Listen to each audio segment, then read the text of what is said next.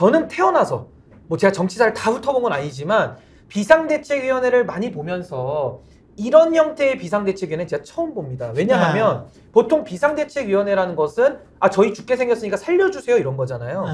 그럼 뭔가 잘못이 있었겠죠. 그래서 매맞을 상태에서 국민들께 읍소하는 건데 네.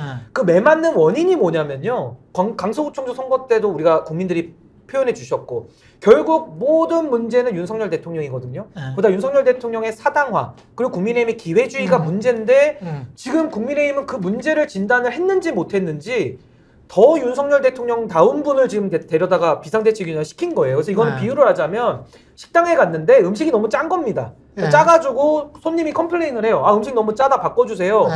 그랬더니 더 짠 음식을 지금 갖고 와가지고 먹든지 말든지 맘대로 하고 네. 돈이나 내고 가라 지금 이런 식이거든요. 네. 전 이거는 정말 국민 알기를 뭘로 아는지를 되묻지 않을 수가 없고요. 네.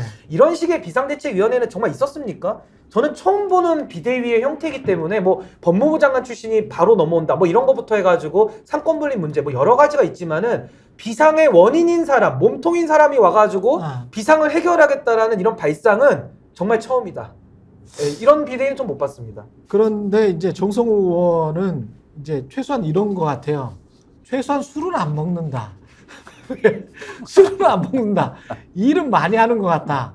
뭐 그래서 달라질 수 있을 것 같다. 그러니까 야당 내에서 그래도 중진 의원이 하는 이야기니까 물론 물론 이제 너무 만만하게 보지 말라라는 어떤 경고의 메시지도 있겠죠. 그냥 그냥 허물어질 정당은 아니다.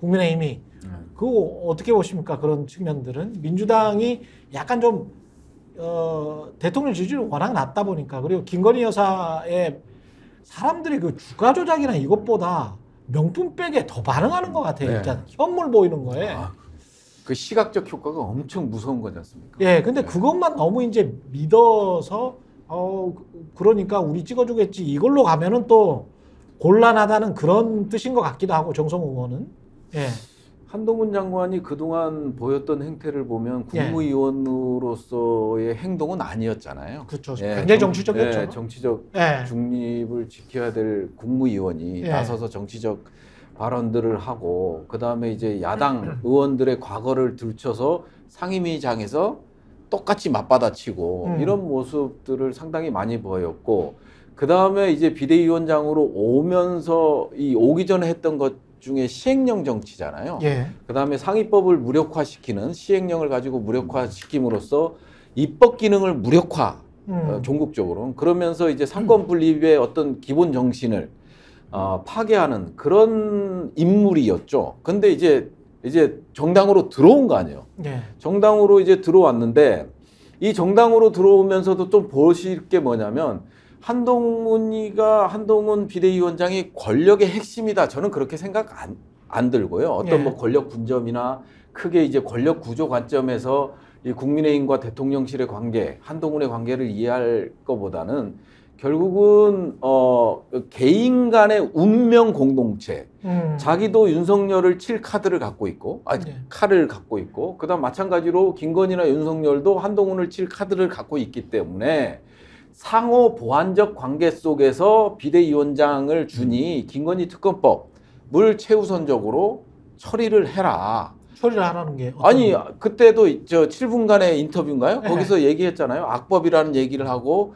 그 다음에 음, 매일 매일 브리핑을 하는데 특검에서 매일 12조인가요? 특검법 12조에 나와 있는 일일 브리핑을 하게 돼 있는데 이게 이 조항이 악법이라는 거거든요. 음. 사실은 한동훈이가 얘기한 거는 예, 그럼 뭐냐 야당과의 딜을 하겠다라는 거죠. 이 아. 악법을 제거하고 그 그다음- 조항들을 예 제거하고 그냥 선거 이제- 기간 동안에 매일 나올 거니까 예 특검은 받겠다. 아, 예, 그래서 이렇게 이제 피의사실 공포가 우려되는 것들은 제하고 가자. 그러면 우린 수용한다. 아마 야당에는 가장 먼저 이 얘기를 하지 않을까. 아. 저는 뭐 그런 생각을 하고요. 아 그렇게 오- 예상하시는구나. 예, 50억 크럽 같은 경우는 어. 50억 크럽 같은 경우는 이제 정의당이 이제 특검을 그렇죠.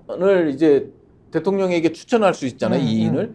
근데 이제 지금 김건희 특검은 50억 크럽보다 짧긴 하지만 70일 정도의 기간이 있고 그다음 30일은 대통령이 안 받을 거 아니에요. 30을 더 하겠다면. 그러면 아. 이제 70일 동안 하는 건데 네. 문제는 뭐냐면 대통령이 소속된 교섭단체는 해당이 안 돼요. 그러면 민주당이 두 명을 추천할 수 있는. 아, 이쪽은 50억 클럽은 정의당이 추천하고. 이쪽은 민주당이 추천할 수 있는 그런 법적인 어, 으로 이제 명시가 된 거거든요. 그러다 그거- 보니까 그거 가지고 악법이라고 하는 거잖아요 지금. 예, 예. 지금 그거 가지고 악법이라 하고 그다음에 예. 총선 전국을 완전히 어떤 이슈에도 음. 이 이슈가 모든 전국을 빨아들이는 매일매일 브리핑하고 그다음에 저 그럴 수밖에. 압수수색 영장 치고 뭐 이런 것들이 낱낱이 공개되니까 아니 지금 1심 판결문이나 이런 거 보면 뉴스타파 보도들을 보면 네. 그 정도면 예, 완벽한 통정매매라고 보이는데 예. 어떻게 그거를 통정매매 아니라고 할 수가 아니 있어요? 그러니까 내가 권력을 나눠줄 혹은 네. 이양할 사람을 보내면 자기가 유리한 쪽으로 미래를 생각해서 유리한 쪽으로 가지만 그래서 한동훈은 운명 공동체에 있기 때문에 음. 이 김건희 특검을 어떻게든 저질하든. 예 어떻게든 저질하든 예.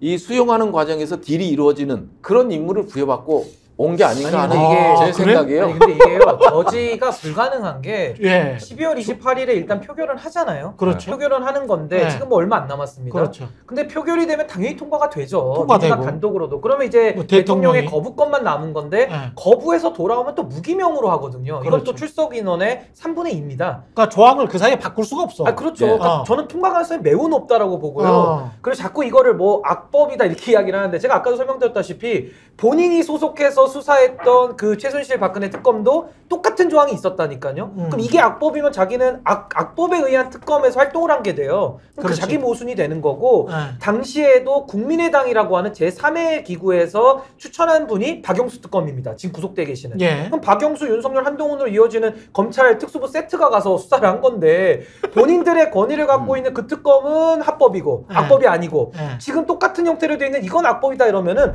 세상에 이런 내로남불이 어디 있습니까?